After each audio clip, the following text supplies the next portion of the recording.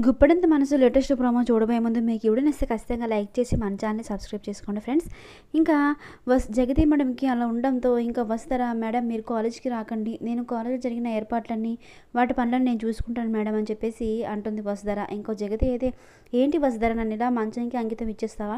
నాకు తగ్గిపోయింది నాకు బాగానే ఉంది. అయినా నా పనులు నేను చేసుకోవడమే నాకు ఇష్టం అని చెప్పేసి జగతి అంటుంది. ఇంకా వసుధర జగతి మహేంద్ర ఎప్పట్లానే కాలేజీకి వస్తారు. ఇంకా కాలేజ్కి రాగానే వసుధర జగతి మహేంద్ర అందరూ కలిసి మీటింగ్లో జాయిన్ అయిపోయాక మీటింగ్ అయిపోయాక బయటికి వచ్చేస్తారు. ఇంకా వసుధర అయితే రిషి కోసం వెయిట్ చేస్తూ ఉంటుంది. ఇంకా రిషి రాగానే వసుధర కార్ ఎక్కి వెళ్తూ ఉంటాయి. ఇంకా దారిలో కార్ ఆగిపోతుంది. ఇంకా రిషి అయితే ఇప్పుడు ఏం చేద్దాం వసుధర? కార్ ఆగిపోయింది కదా అని చెప్పేసి అంటాడు రిషి. ఇప్పుడు ఏం చేద్దాం సార్? అని చెప్పేసి వసు అనగానే నీ సైకిల్ లేకపోతే నువ్వేం చేస్తావు? తోసుకుని వెళ్తావు కదా? ఇప్పుడు నువ్వు తోయి నేను నేను స్టార్ట్ చేస్తానని చెప్పేసి రిషి అంటాడు. ఇంకా వసుధర వెనక్కి వెళ్ళి కారు ఇబ్బందిగా తోస్తూ ఉంటుంది. రిషి మాత్రం నవ్వుకుంటుంటాడు లేటెస్ట్ ప్రోమో ఇది ఫ్రెండ్స్ వీడియో ఖచ్చితంగా లైక్ చేయండి సబ్స్క్రైబ్ చేసుకోండి.